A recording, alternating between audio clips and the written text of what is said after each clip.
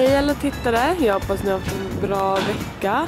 Uh, nu tänkte jag faktiskt ta med er här till Stockholmsmässan i Älvsjö. Uh, där de har nu mellan idag fredag till söndag Underbara barnmässan som är en mässa anpassat för uh, barn, familjer och gravida. Så jag tänkte gå till deras bloggfrukost nu och sen kolla in mässan så häng med! Nu eh, väntar alla spänt här på att den ska öppna.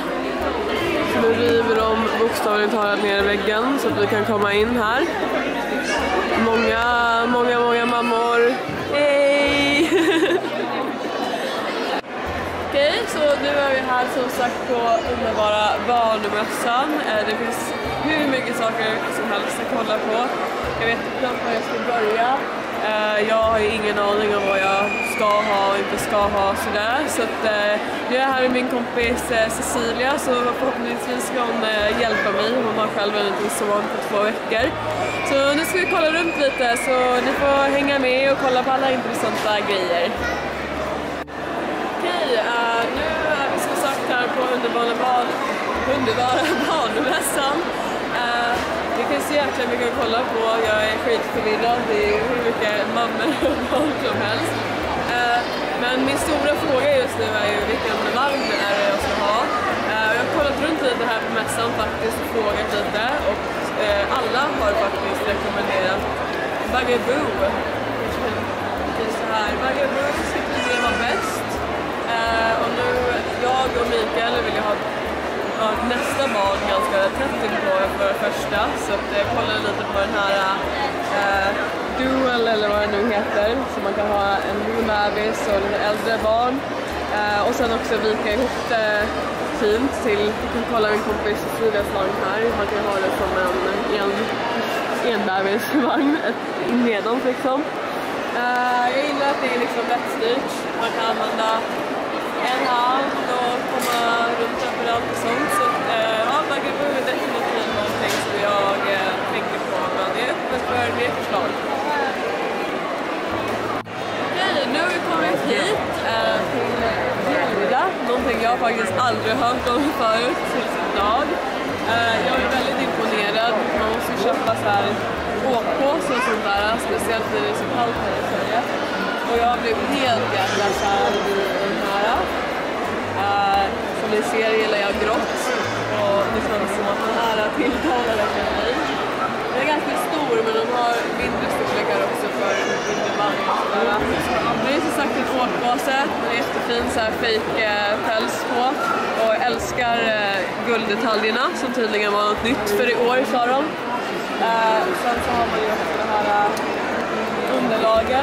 ser jätteskönt ut. Jag önskar nästan att jag fick åka runt i en lag på en sån här. Så ja, jag ville bara visa er lite vad, hur min, min smak, min stil är. Eh, och bjällra är definitivt någonting som jag kommer kolla in med och det jag väl behöver det. Hej igen alla tittare. Uh, tyvärr så dog faktiskt min kamera igår på Underbara barnmässan så jag fick inte mer material än det nu, jag har sett nu innan. Så det var lite synd för det fanns så mycket mer att visa och se. Men ni fick i alla fall en liten insyn på hur det var. Uh, jag tycker att det var jättekul uh, att få se och lära mig så mycket och speciellt att få gå med min kompis Cecilia, en ny vän till mig. Uh, hon har en två veckors son så det var väldigt kul att få umgås med dem och få Eh, ja, uppleva när hon var tvungen att amma och byta och sådär för att se vad som väntar mig.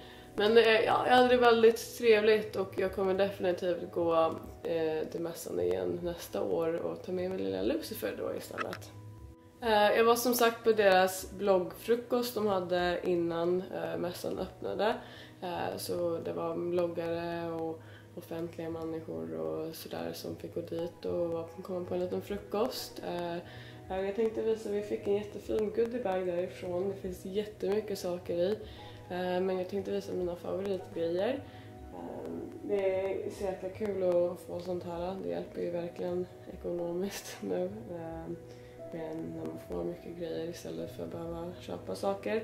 Ehm, det är kul att få testa nya produkter och, och sånt där. Speciellt när jag inte kan så mycket om sånt och det som finns och whatever. Men jag tänkte visa mina favoritgrejer i alla fall. Så här har vi en grej. Det var en sån här från Babyland, en liten sån här kossa. Ehm, mjukisdjur bara. Jag tyckte den var väldigt gullig och jätteskön så det är definitivt någonting Lucifer kommer få ha i sin lilla vagga och leka med. Um, sen fick jag en liten sån här, en spargris. Eh, jag tycker det är väldigt viktigt att lära barn att spara pengar tidigt så att jag önskar att någon lärde mig det. Ehm, men så vi kommer definitivt använda den här um, så fort han börjar känna veckopeng och sånt där. Um, den här tyckte jag var väldigt rolig. Um, porr för nyblivna mammor heter boken. Uh, så då var jag först lite rädd för att öppna och vad det skulle finnas i, en massa nakna gamla män eller någonting. Men jag tyckte det var så roligt för det är liksom det är bilder på män som gör saker som vi kvinnor drömmer om att de ska göra. Uh, till exempel här så står det Titta jag köpte till dig älskling. Det ska tydligen vara marknadens bästa medicin mot mensvärk. Eh, sånt brukar inte riktigt hända men eh, ja, här i boken kan man ju önska sig lite i alla fall. Jag måste säga att eh, Micke är väldigt, väldigt duktig så att han, eh, ja, han, jag tycker han skulle nog kunna få vara med i den här boken faktiskt.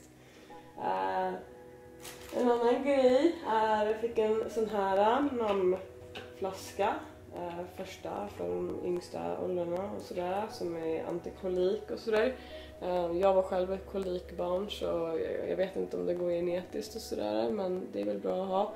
Um, jag tänkte börja med flaska på en gång. Jag vill göra alltså amning och flask ja, matning och så på samma, samma gång så att jag kan få uppleva närheten med barnet och sådär från amningen och så att Micke också kan få närheten och så med hjälp av en flaska. Sen så underlättar det ju väldigt mycket när man går på möten och sådär så att Micke kan också få ta del av den där erfarenheten för jag tycker det verkar så jäkla mysigt med amma.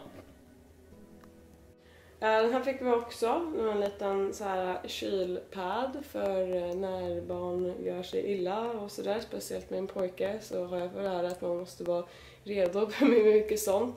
Eh, jag tror också att inte bara kyla utan man kan lägga den i varmt vatten så blir den skön för magont och lite sånt där. Så jag tänkte faktiskt använda den själv nu på min mage och sådär eh, innan Lucifer föds och sen så får han använda den när han behöver. Förhoppningsvis behöver han inte men ja, alla vet ju hur barn är.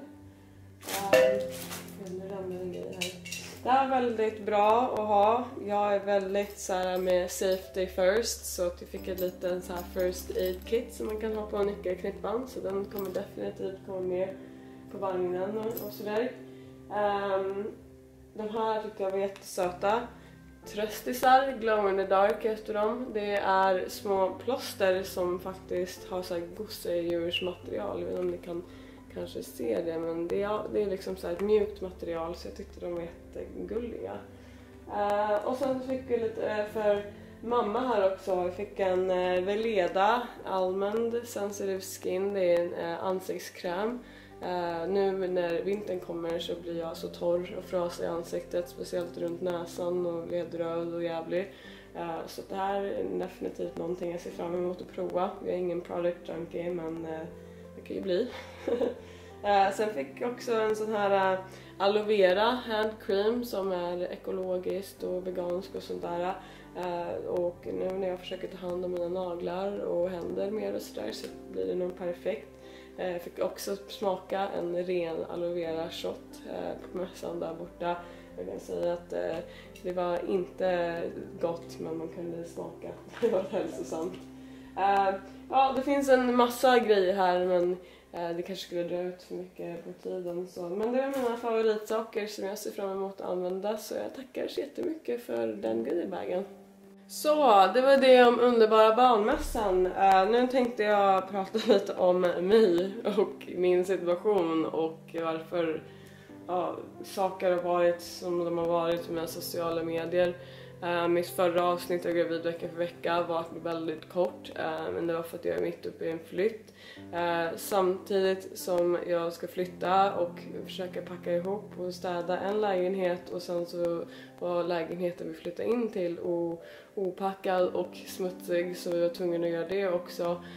så fick jag en jävla förkylning som bara har blivit värre och värre. Eh, jag har gått till läkaren, försökt få mediciner och sånt men det har inte riktigt hjälpt. Eh, och nu så känner jag att, först kände jag att jag blev lite bättre men nu så börjar jag bli sämre igen. Eh, jag har nämligen börjat få bihåleinflammation nu också. Jag har dealat med det ganska mycket i mitt liv så att jag vet att det är det som är på G.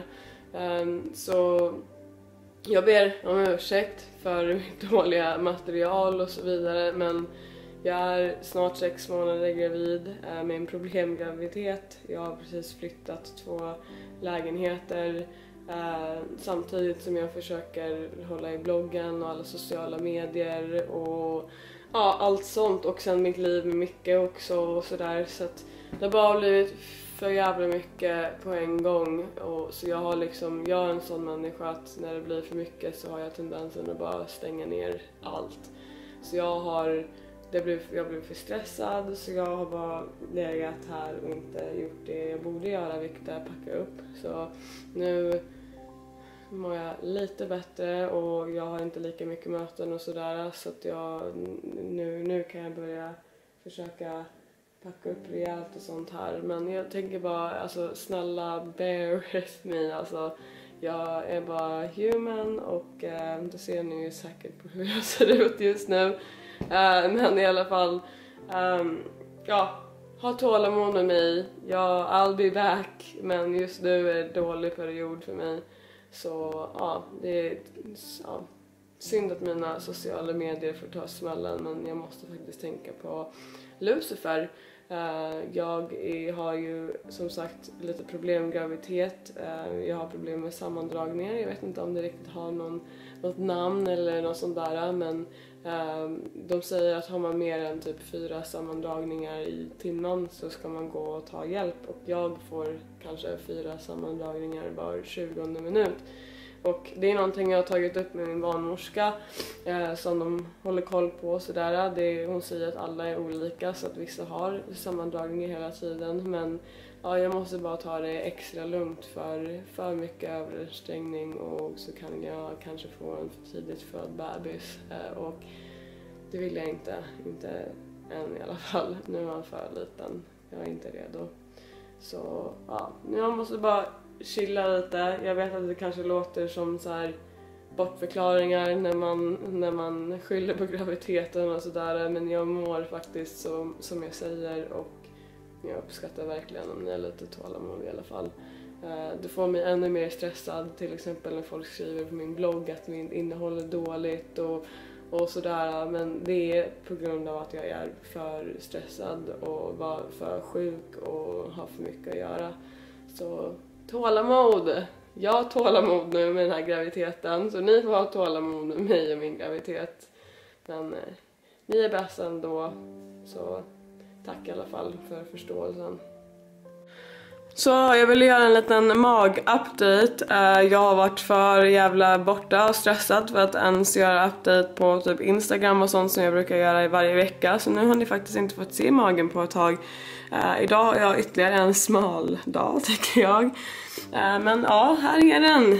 Snart vecka 24. Den bara växer och växer och växer. Jag kollade på bilder från när jag var typ så här 14 veckor då jag tyckte att jag hade mage. Eh, och nu tycker jag det är lite kul att jag tyckte att jag hade mage då för att här, nu, nu är den här på riktigt. Um, men vissa säger att de tycker att jag är relativt liten men jag menar, jag vet inte. Man ska inte försöka hålla på och jämföra så mycket med andra heller för att alla är ju så olika men jag älskar min mage och jag ser fram emot att den ska bli större och större. Så ja, tack för tålamodet och sånt som sagt och eh, vi ses nästa vecka med förhoppningsvis ett roligare avsnitt.